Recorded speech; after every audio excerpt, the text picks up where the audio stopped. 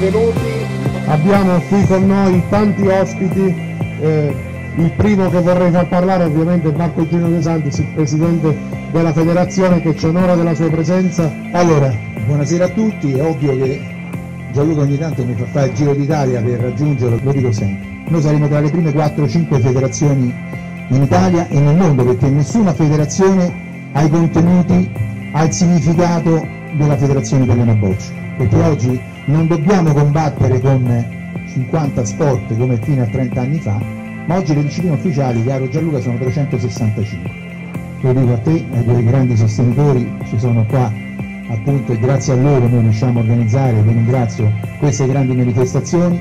Senza di voi non potremmo fare nulla, ma non solo noi nelle bocce, ma in tutti gli altri ambiti. Grazie Presidente se c'è una cosa bella te lo do io il gancio, è quello è il rapporto di amicizia che questo sport fa nascere. Grazie a tutti per essere intervenuti a questa grande cerimonia e grazie soprattutto a Gianluca Peppino che eh, ci supportiamo e mandiamo avanti questa bella manifestazione da sei anni a questa parte.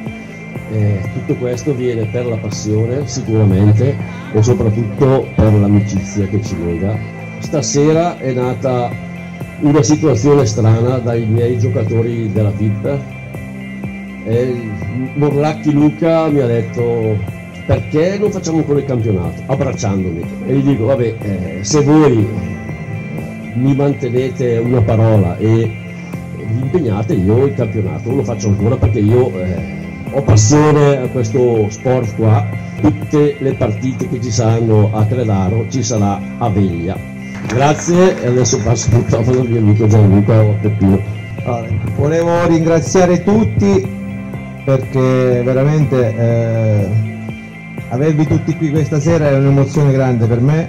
Siamo una famiglia e ogni anno quando organizziamo questa gara avere tutti gli amici attorno eh, e tutti eh, gli sponsor, tutti mh, mm, come dire, che mi danno una mano, che ci danno una mano e essere sempre presenti per me è un'emozione grande, perciò io vi ringrazio tutti, eh, dal primo all'ultimo non eh, voglio dimenticare nessuno, però grazie veramente a tutti, ciao.